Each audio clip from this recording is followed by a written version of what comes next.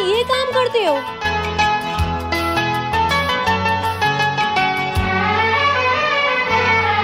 कोई भी काम छोटा बड़ा नहीं होता है। मैंने तुमसे प्यार किया है, तुम्हारे काम से नहीं। तरह आशिकी का असर छोड़ जाऊँगा। इस तरह आशिकी का असर छोड़ जाऊँगा। वीडियो पसंद आए तो अपना एक स्टार ज़रूर देना।